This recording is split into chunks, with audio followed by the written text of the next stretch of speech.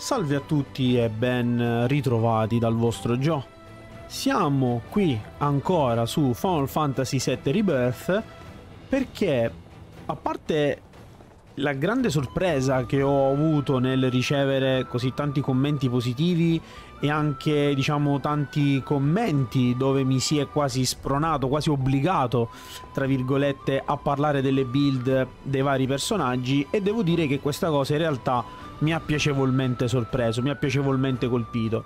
Oggi per l'appunto siamo qui in questo video proprio perché parleremo di un altro personaggio di gioco che non ho trattato fin da subito essendo come ho spiegato comunque in alcuni commenti per le persone che mi hanno scritto eh, come ho scritto per alcuni commenti appunto stavo dicendo che eh, non rappresentano fondamentalmente il mio gameplay il mio modo di giocare però sono comunque personaggi presenti all'interno del gioco e quindi è giusto che eh, se ne parli in un modo o nell'altro il personaggio di oggi che ovviamente andremo ad analizzare nel dettaglio è il nostro cagnolone Red 13 o comunque Red 13, chiamatelo come volete, anche se ovviamente il nome corretto sarebbe Red 13 perché appunto il numero romano si identifica come numero eh, appunto ordinario, no? Quindi sarebbe Red 13.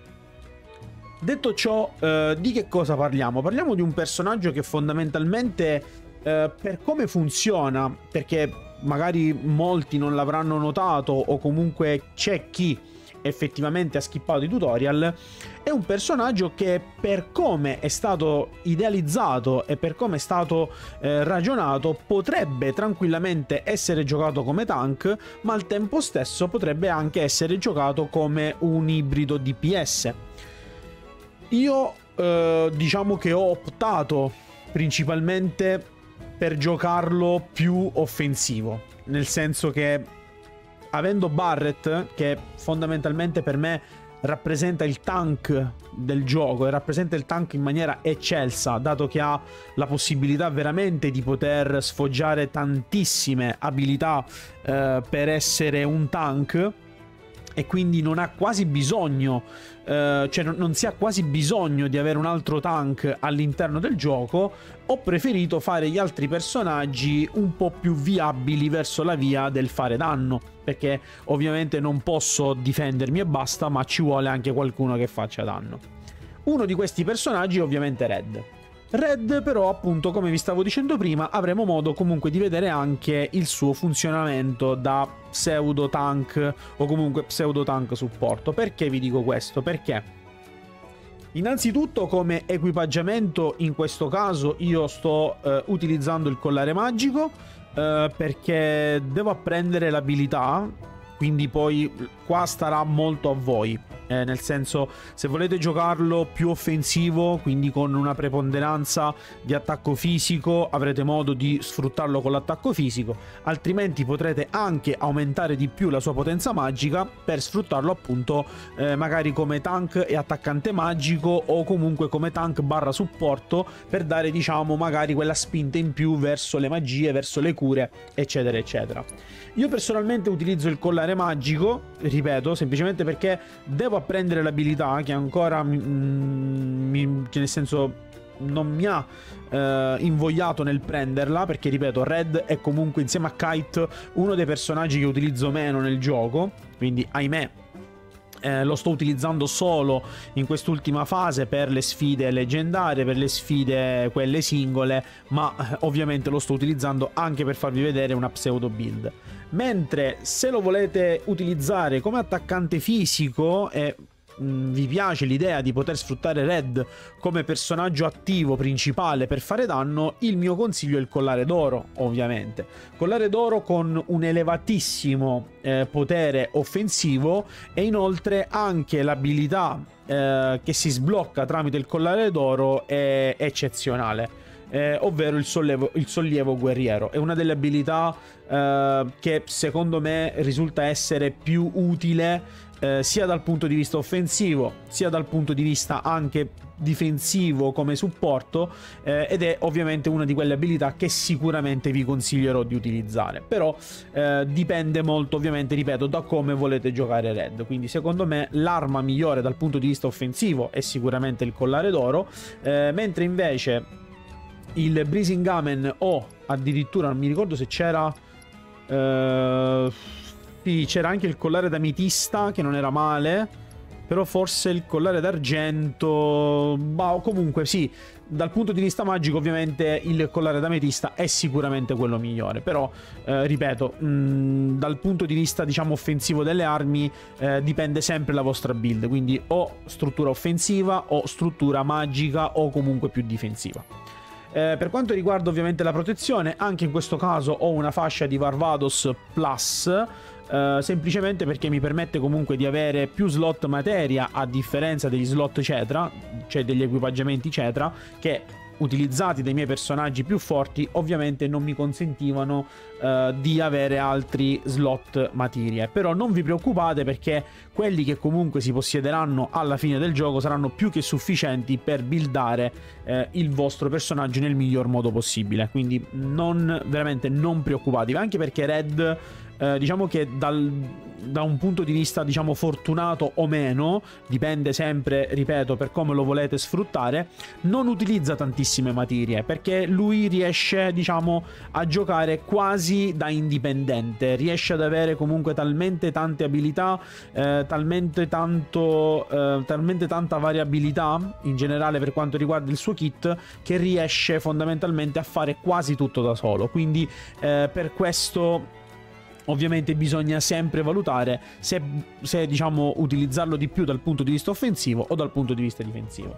Per quanto riguarda l'accessorio, al solito vi ricordo che l'accessorio è prettamente personale, ovviamente eh, sempre in base a come volete sfruttare il vostro personaggio dovete scegliere l'accessorio affino, ce ne sono veramente di, eh, di tutti i tipi presenti all'interno del gioco eh, e quindi non mi sento come sempre di consigliarvi un accessorio nello specifico.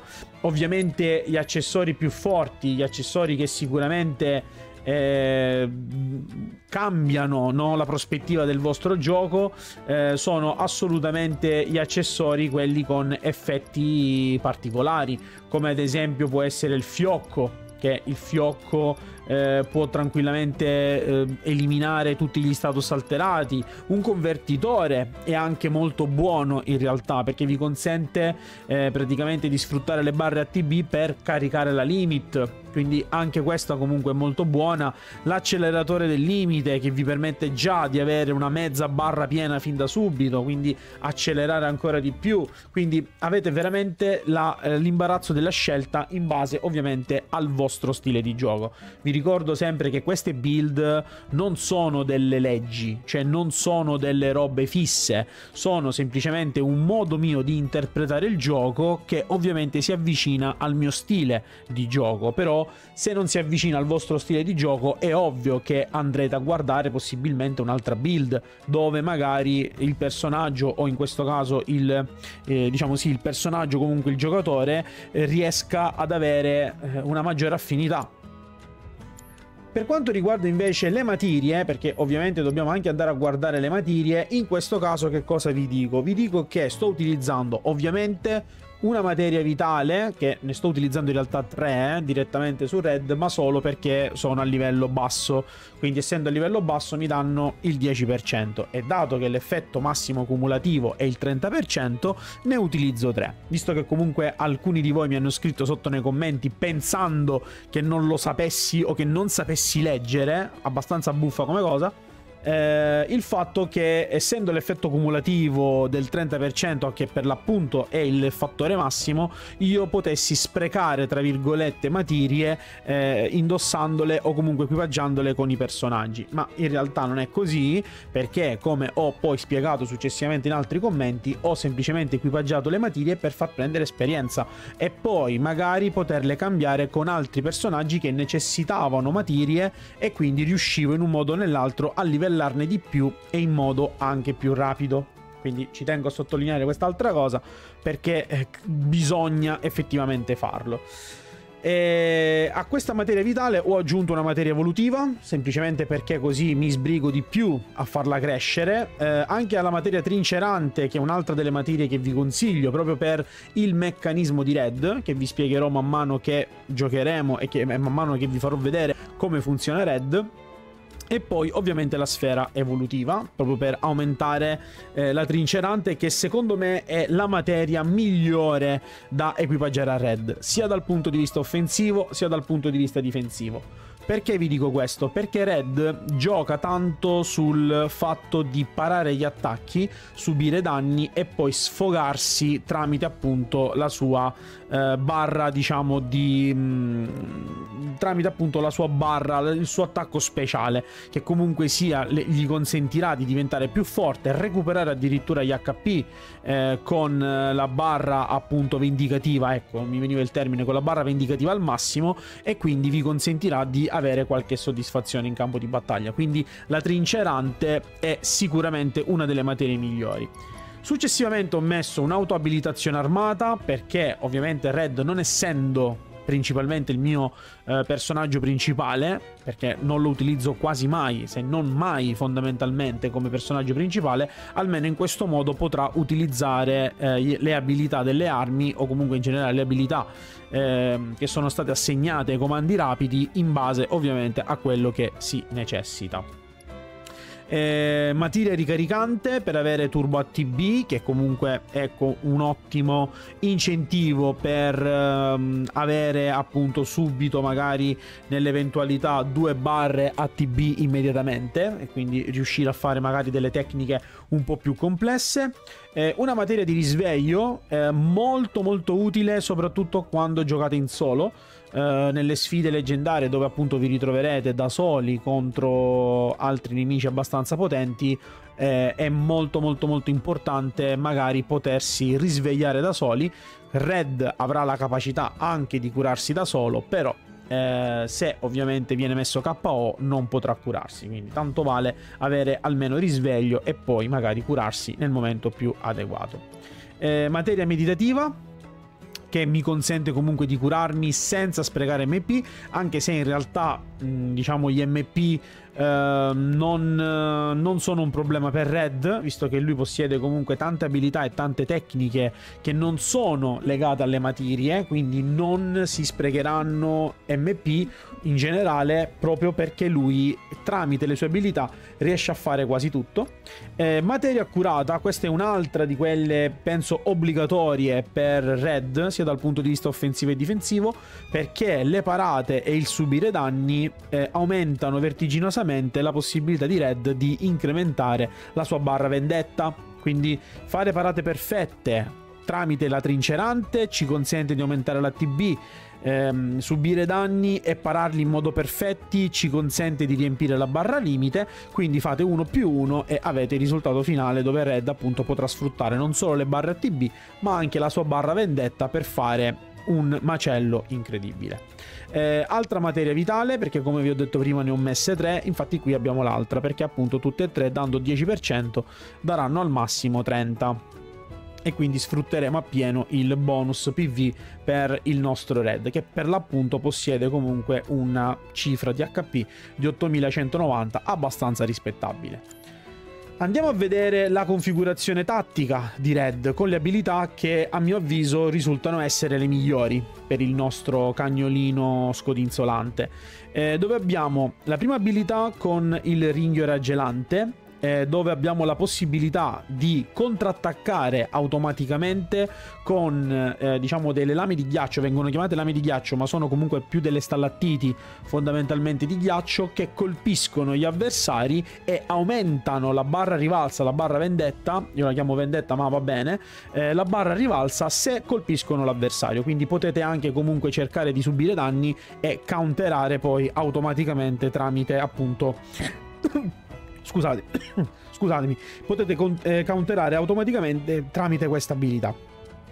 La zampata crescente, che è una delle abilità probabilmente più forti di Red, se non una delle iniziali, ehm, dove praticamente possiamo colpire il nostro avversario e, e poi successivamente possiamo eh, fare comunque dei bei danni. Eh, tramite ovviamente la barra rivalsa si amplifica il danno e si amplifica anche il raggio di azione con il quale noi l'onda d'urto eh, riusciamo a fare danni. Quindi devo dire veramente veramente figa. Eh, blocco superiore eh, che invece è una sorta di stance un po' come Cloud eh, dove appunto abbiamo la possibilità di avere una stance diciamo difensiva eh, dove possiamo bloccare automaticamente gli attacchi e aumentare la barra rivalsa contrattaccando con il tempo giusto. Quindi se noi rimaniamo fermi, ci facciamo attaccare e contrattacchiamo con quadrato durante appunto questo scambio di battute, aumentiamo eh, la barra rivalsa in modo molto più efficace, che è fondamentalmente lo scopo di Red. Red va giocato così. Red deve subire danni, riempire la barra rivalsa e poi sfogarsi con la barra rivalsa piena. Punto. Questo con, così funziona Red, sia in punto di vista offensivo, sia dal punto di vista difensivo. Dal punto di vista difensivo è più conveniente perché mantenere alta la barra rivalsa ci consentirà comunque di sfruttare tanti altri effetti, mentre invece dal punto di vista offensivo scaricare la barra rivalsa ci permetterà di essere più forti. Quindi in un modo o nell'altro questo è il succo di come va utilizzato Red. E poi sollievo guerriero che come vi dicevo prima essere una delle abilità che vi consiglierò a prescindere dal modo in cui voi utilizziate Red sia dal punto di vista offensivo che dal punto di vista difensivo proprio perché si riesce a recuperare PV all'intera squadra in base alla barra rivalsa. Quindi eh, se ovviamente avete questa barra rivalsa la potete sacrificare, diciamo così, eh, in poche parole, per poter poi curare successivamente la squadra. Quindi è comunque un ottimo compromesso, soprattutto col fatto che Red può incrementare la barra rivalsa con le parate, con la, la materia trincerante, può recuperare ATB, quindi avete comunque una sorta di ciclo eh, che potrete sfruttare con Red sia dal punto di vista offensivo che dal punto di vista difensivo. Per quanto riguarda invece l'espansione delle armi, ovviamente molti mi avete chiesto come poter ottenere 4, disposi- cioè 4 diciamo, slot per le, ehm, diciamo, per le armi, per le prerogative delle armi e ovviamente la mia risposta è stata sempre la stessa. Ragazzi, combattete. Dovete necessariamente combattere, prendere punti esperienza eh, e quindi poi nel momento in cui raggiungerete il livello 8 sbloccherete la quarta prerogativa. Eh, una volta fatto questo, le mie prerogative con ovviamente il collare magico, perché ovviamente la mia arma di riferimento in questo video sarà il collare magico, sono recupero PV e PM estremando il nemico, che è comunque una comodità dal punto di vista diciamo strategico in generale.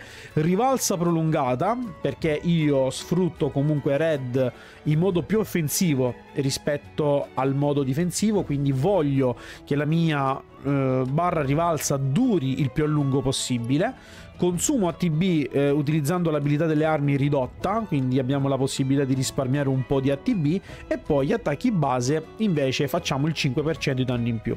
Perché con gli attacchi base è importante fare dei danni in più? Semplicemente perché la meccanica di Red ci consentirà di contrattaccare direttamente gli avversari. Quindi quando noi ci metteremo in difesa potremo premere subito dopo quadrato per aumentare la barra rivalsa e fare comunque anche dei danni al nostro avversario. Quindi una sorta di counter manuale che possiamo fare noi man mano che giochiamo, ma che comunque vedrete poi con lo showcase in generale del personaggio. Eh, detto questo, eh, non credo che ci sia altro da approfondire con Red perché ovviamente vi ho già detto effettivamente come lo interpreto io, come lo utilizzo io, sta a voi semplicemente poi decidere come utilizzarlo nel migliore dei modi possibile. Quindi io direi che per questo video è tutto, io vi lascio allo showcase eh, in questo caso di Red, fatemi sapere ovviamente al solito se il video vi è stato utile e in particolar modo se c'è qualcosa che magari volete chiedere o comunque avete qualche dubbio al riguardo, potete tranquillamente scrivere sotto nei commenti. Detto ciò, io vi ringrazio, vi lascio allo showcase e ci becchiamo con un prossimo episodio. Bye bye!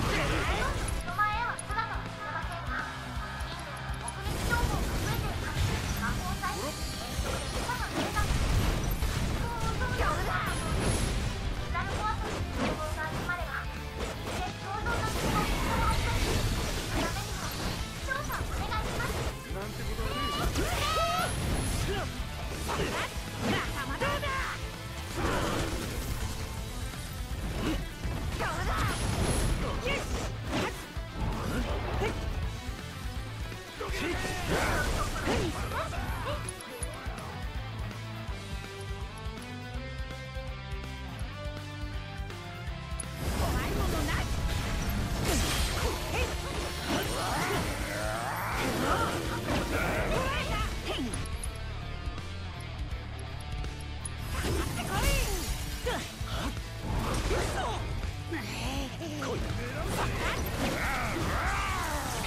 い